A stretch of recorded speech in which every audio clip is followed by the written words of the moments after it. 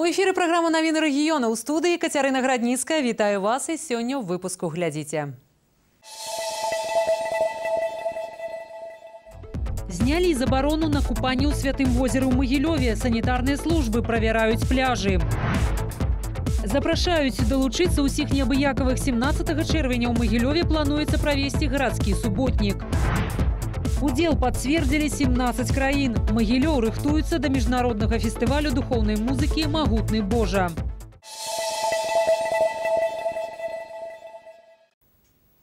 Пра гэта інша больш падрабязна ў магілёўскай вобласці з 49 месцаў адпачынку на вадаёмах пакуль толькі 39 атрымалі пашпарты гатоўнасці. Справа ў тым, што ў некаторых раёнах яшчэ не праверылі акваторыю дна. І вось санітарныя службы распачалі маніторынг стану вады. Дарэчы, па выніках праверак знялі забарону купання на святым возеры Магілёва. Адпаведныя паказчыкі зараз тут у норме.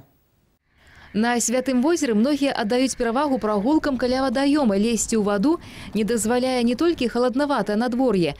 Не падабаецца вялікая колькасць чаек на березе. Неохота пока. Это пока людей не увижу здесь, которые плавают, сам не полезу. Чайки тут много чего гадят.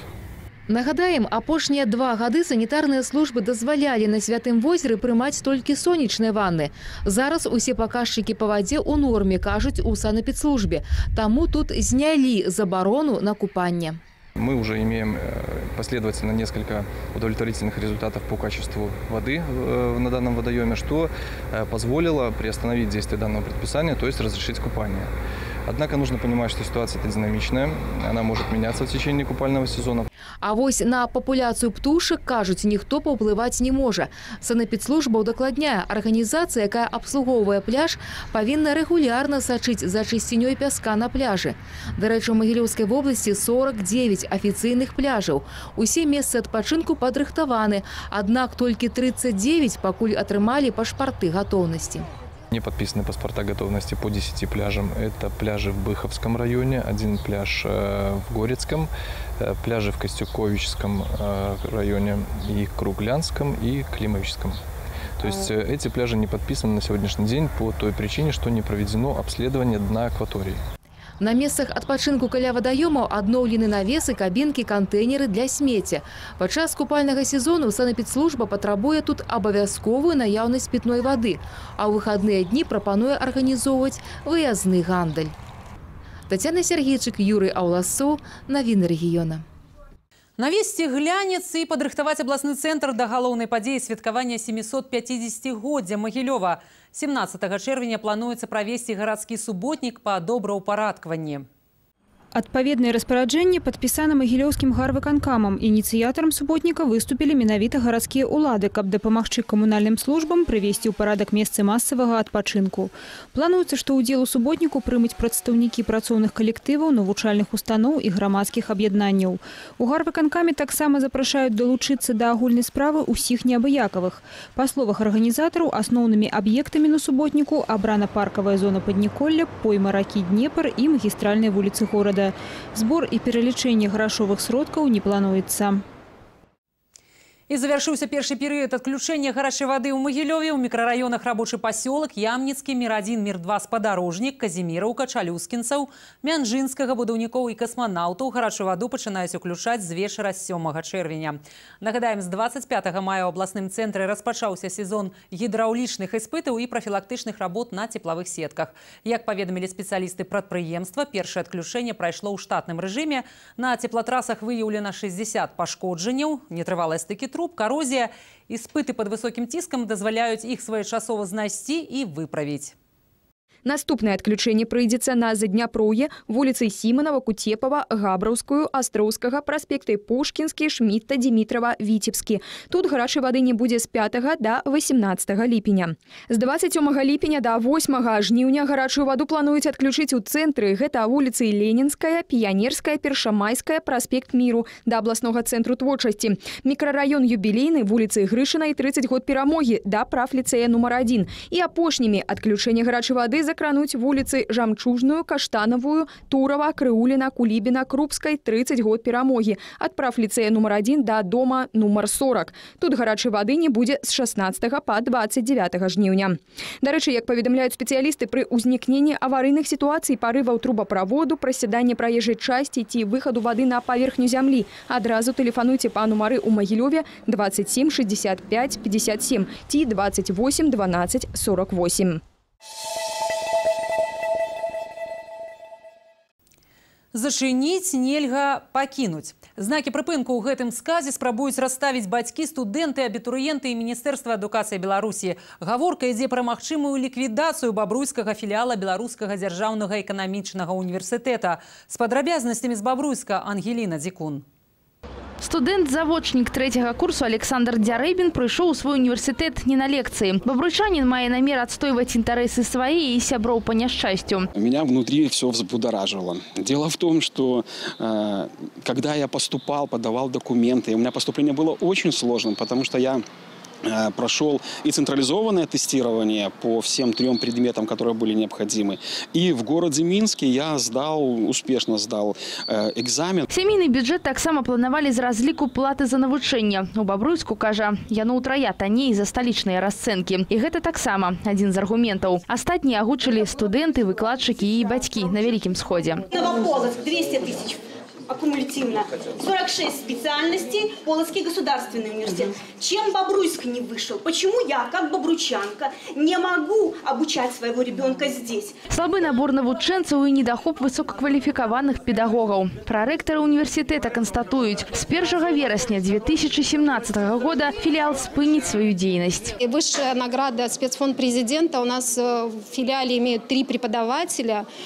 И говорить о том, что преподают не специалисты, обидно. Мінчане прапануюць студэнтам пераехаць заведамі ў сталіцу. Тыя, хто вучыцца на дзённай форме, у асноўным не супраць. Мечтал о Минске, поступал сюда, потому что э, не хватало баллов, чтобы обучаться бюджетно в Минске, поэтому здесь.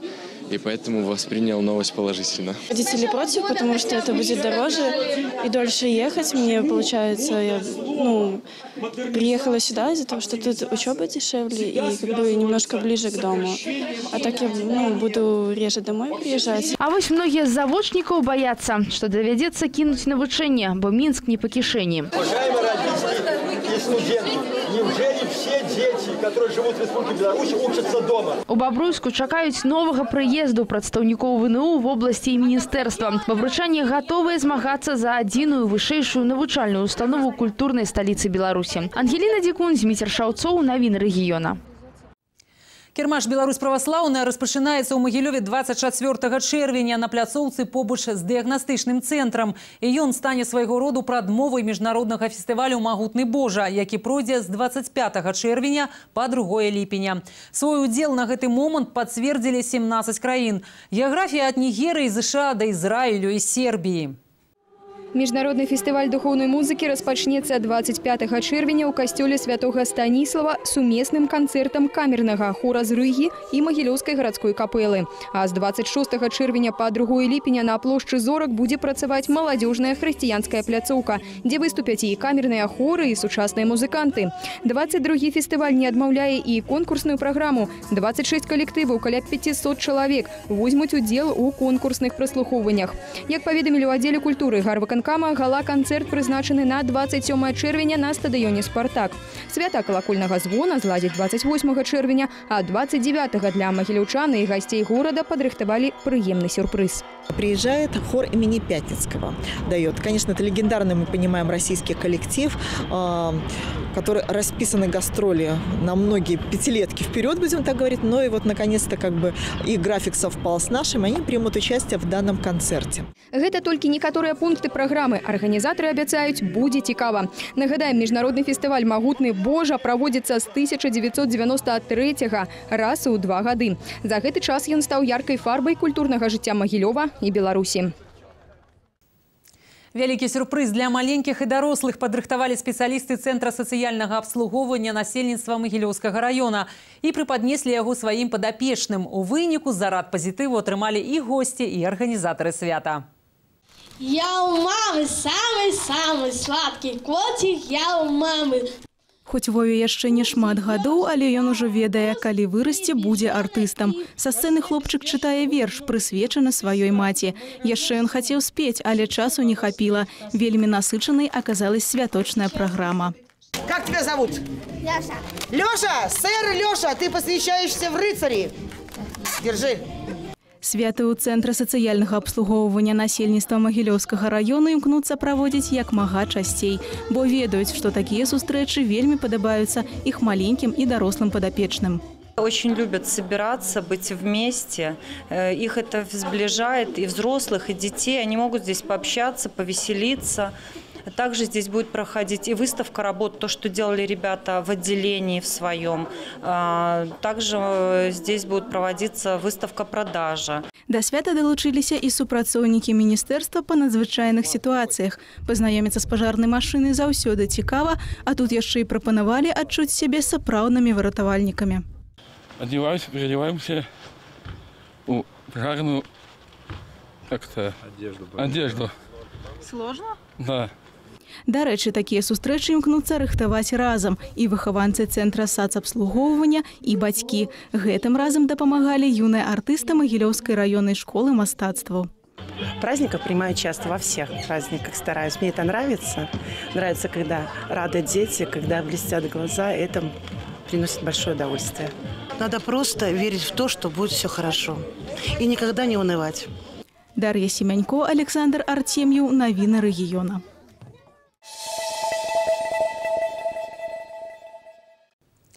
Каманда «Магніт» стала пераможцам Кубка Магілёва па футболе. У фінале гэты калектыў сустракаўся з клубам «Сервалюкс Агра».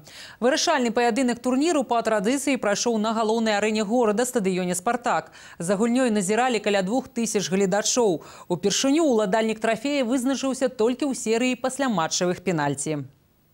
Чатыры стадыі турніру і 10 каманд. З мая па чэрвень яны вялі барацьбу за кубак Магілёва па футболе. У фінал выйшлі сервалюкс Агра і Магніт. Вопыт супраць маладосці. Менавіта так балельшчыкі і спецыялісты казалі пра гэты паядынак.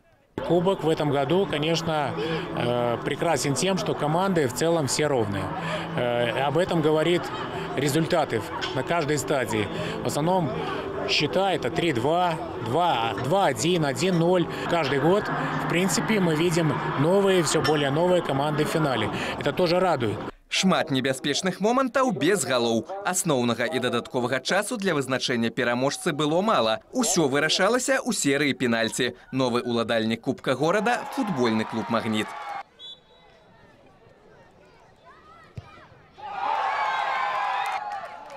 Выходили только в полуфинал, на самое было достижение. Это в том году. В позатом тоже не смогли выйти. И только вот на третий год вышли в финал. Этот сезон э, начинаем вообще с очень хорошим настроением. Все молодцы. Ну, команда у нас очень дружная. Я думаю, это нам помогло, что мы так и, получается, выиграли финал. В принципе, игрой довольны, просто не хватило немножко какого-то везения. Ну и хотелось бы поаплодировать вратарю э, соперника, молодец, красавчик. Голов не было забито, а, но все-таки э, момент, моменты были. Боле, болельщиков очень много пришло, здорово. Аматарскі футбольны сезон у Магілёве толькі стартаваў. Абодва фіналіста Магніт і Сервалюкс Агра яшчэ пазмагаюцца за кубак Магілёўскай вобласці. Турнір пачнецца ў ліпені. Пакуль жа каманды засяродзяцца на чэмпіянаце горада. Ілля Собалеў, Александр Артем'еў, навіны рэгіёна. Самыя новыя, самыя прыгожыя і хуткія аўтамабілі і матацыклы Беларусі і краін блізкага замежжа ў адзін час і ў адным месцы. 17 чэрвеня на аэрадроме ў Быхаве пройдзе аўтафест летні фарсаж. Гэтыя спаборніцтвы па драгрэйсінгу па водгуках спецыялістаў самыя прэстыжныя ў Беларусі і карыстаюцца асаблівай папулярнасцю, бо не толькі ўдзельнікі, але і госці фэсту змогуць убачыць і параўнаць ходавыя характарыстыкі новенькіх аўто, іх інтэр'ер і экстэр'ер, а таксама ацаніць разнастайнасць тюнінгу. Дарэчы, па словах арганізатараў летай спаборніцтвы сабралі больш за 8 тысяч чалавек. Сёлетні фэст плануецца не менш маштабным і пройдзе ў два этапы летні і восеньскі. На мерапрыемства запрошаны госці з Польшы, літвы, Германіі, а таксама Украіны і Расіі. А на гэтым пакуль усё заставайцеся з намі да сустрэчы.